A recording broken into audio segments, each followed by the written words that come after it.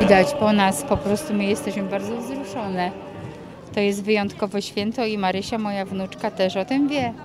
Robi wrażenie to, co dzieje się dzisiaj przy Stadionie Śląskim. Jesteśmy pierwszy raz tutaj na Stadionie Śląskim, bo zawsze żeśmy wyjeżdżali gdzieś dalej, a okazuje się, że tu bardzo dużo właśnie atrakcji takich, że jesteśmy mile zaskoczone. No to święto wolności, wolności naszej narodowej i y, żebyśmy drugi rok też to świętowali.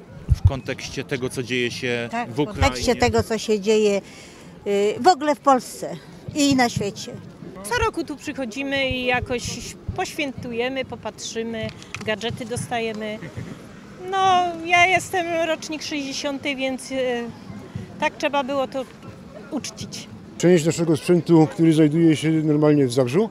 Natomiast w tej chwili y, tutaj do dyspozycji mamy do obejrzenia y, w tamtym kierunku czołgi. Stoją y, nasze wszystkie y, z wyjątkiem y, czy czwórki.